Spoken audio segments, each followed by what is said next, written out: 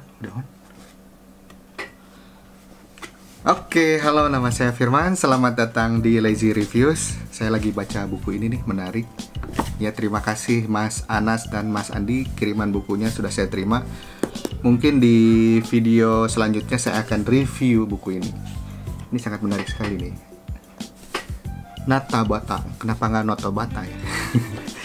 Oke, nah di video kali ini saya banyak sekali pertanyaan dari WhatsApp WhatsApp ke saya gitu karena mungkin sekarang musim hujan gitu ya.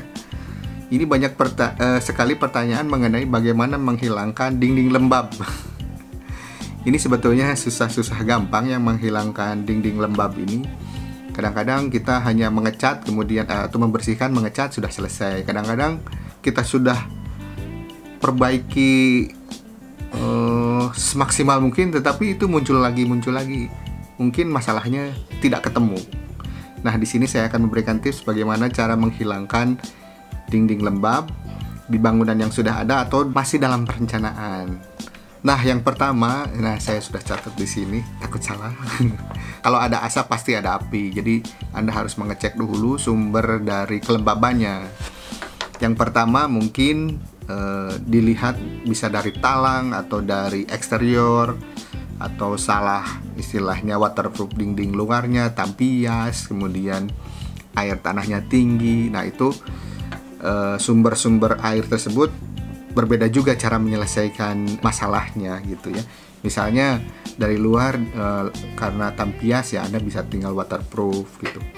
Kemudian apabila dari talang ya talangnya harus diperbaiki seperti itu. Jadi yang pertama adalah harus tahu dulu sumber airnya supaya selesai gitu nggak bolak balik nah perbaikannya pun ada dua. Yang pertama yang ringan gitu yaitu cukup menghamplas kemudian mengecat ulang menggunakan cat yang primernya bagus kemudian juga ada juga yang memberikan tips menggunakan kaporit katanya. Jadi supaya jamur-jamurnya hilang. Tapi menghilangkan lembab atau tidak ya itu menghilangkan jamur mungkin ya. Kemudian yang ketiga tadi yang kedua ya yang ketiga adalah perbaikan yang cukup banyak. Misalnya karena lembabnya tidak hilang-hilang, eh, kita perlu juga mengganti plesterannya. Jadi mengupas seluruh dinding.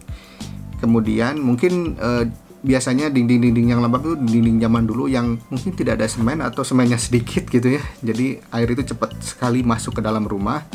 Jadi kita perlu mengupas, kemudian mengganti plester yang baru, aci yang baru dan diselesaikan dengan uh, tentunya dengan cat primer dan cat eksterior maupun interior yang bagus gitu ya. Nah, yang keempat sebetulnya ini kasus saya yang sekarang saya lagi membangun satu rumah dengan meninggikan lantainya tetapi selupnya ada di bawah jadi si tanahnya itu bertemu langsung dengan dinding.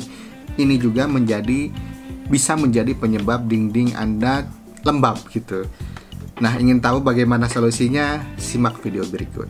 Tadi kan selupnya di bawah di sini kemudian kita naikkan ke sini supaya efisien. Tadinya di di atas tapi kurang efisien.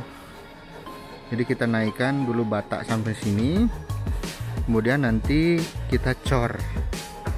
E, sebelum naik bata ke atas kita cor supaya e, si air itu tidak naik ke dinding bata jadi tidak lembab.